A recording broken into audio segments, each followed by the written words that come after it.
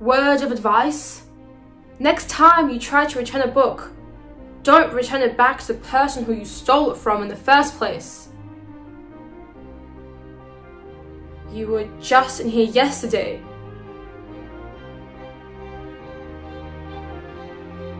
I remember you. Yes, I do. Green sweater, black jeans.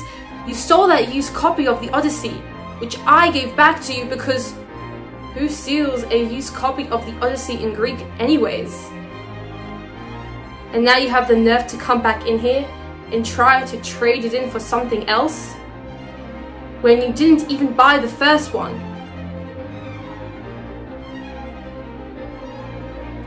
Look, I think you better go.